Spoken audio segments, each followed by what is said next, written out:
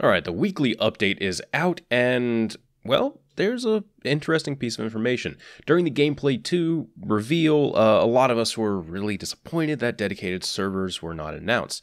Well, there was a couple background interviews that happened where they said we're not using dedicated servers, but we're not using peer to peer. We're using some other system. Uh, it's kind of like a hybrid thing. Well, they take some time to actually explain what this system is in the weekly update. Now, just let you know, this video is going to be a little bit technical and I don't entirely understand it, but I think I think I have a good enough grasp on it that I can talk to you about it. So all right, let, us get down down to business with here. Uh, Matt Segur Segur, I, I, can't I can't pronounce your last name. I'm sorry, Matt. Uh, he is the one that uh, goes in and explains all this. And basically, long story short, uh, they they tell you to go read this, the GDC uh, thing where they go over, or the GDC talk where they go over how Destiny 1 match makes, And this is the one thing that you should definitely take note of. Can I zoom in on this? Yes, yes, wonderful. Okay, this is the this is the uh, thing that you should really take note of because this is this is how Destiny matchmaking works. Basically, there is a world server that kind of you know matches us all together. And then all of our individual clients are the ones that are doing all the physics the stuff with each other. God this is not going well.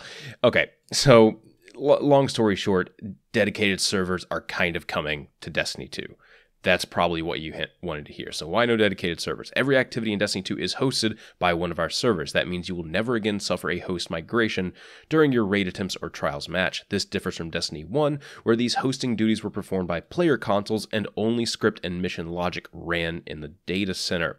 To understand the foundation of what we're building, please read the Destiny 1 presentation, and you're probably not really going to understand that unless you understand a lot of the networking stuff. And yeah.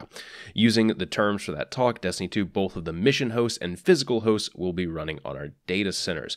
So the uh, mission and activity strike host uh, is kind of what we were used to be connecting to, and then all the physics stuff was calculated by our consoles.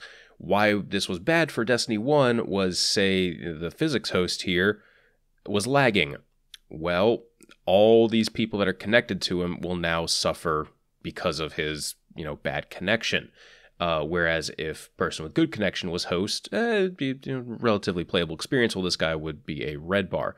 Well, now all the physics stuff is going to be taken care of on the server side as well. So, for all intents and purposes, um, yeah, we kind of have dedicated servers so they go on to say, wait, so do we have dedicated servers? We don't use that term because in the gaming community, dedicated servers refers to the pure client server networking models. Destiny 2 uses a hybrid of client server and peer to peer technology, just like Destiny 1. You know how we can all kind of seamlessly cross into patrol spaces? That's mainly due to peer to peer. The server is authoritative over how the game progresses, and each player is authoritative over their own movements and abilities.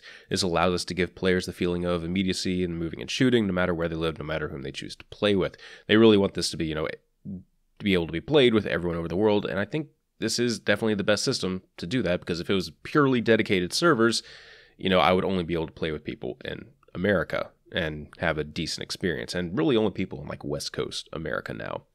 So why peer to peer? Are we trying to save money? No, they invested heavily in new server infrastructure for Destiny 2, including using cloud based servers for gameplay for the first time. They believe this is the best model for all of Destiny 2's very cooperative and competitive experiences. And they'll engineering will always involve trade-offs and cost-benefit analysis, but as a team, they have no regret no regrets about the technology they built for Destiny 2. I'm you know, I'm not completely sold on it.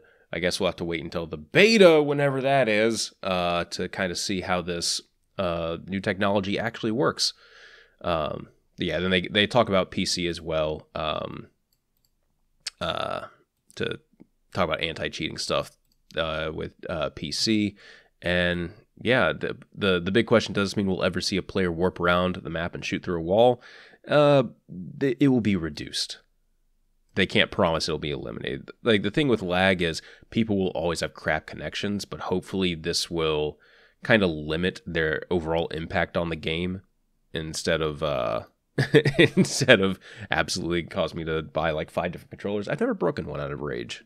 Hmm, straying off topic over here. So, what can we expect at launch? We have a beta coming up this summer that will be the first chance for players to get their hands on Destiny 2 and kick the tires on its networking. Spent a bunch of time working on matchmaking, latency, responsiveness, and we feel pretty good about it. As with everything we do, we'll be monitoring monitoring the situation after launch and reacting to community's feedback. So, yeah. Uh, by the way, when's the beta? That soon, soon is the exact dates. so dedicated servers. We're not getting them because it's a different system. I know. The great, great, great way to end it here. But I'll link I'll link this GDC vault for those that are actually interested in game development, specifically net, network game development. It's some really complicated stuff that goes into yeah, it's it, this is very in depth. It's about a hundred and something pages over here of wonderful, wonderful information. That's actually really good to know how the game kind of works. So, all right, dedicated servers. Thanks, thank you everyone for watching, and I'll see you next time. I hope I didn't ramble too much, and I hope this actually made some sort of sense because I'm still trying to figure it out myself.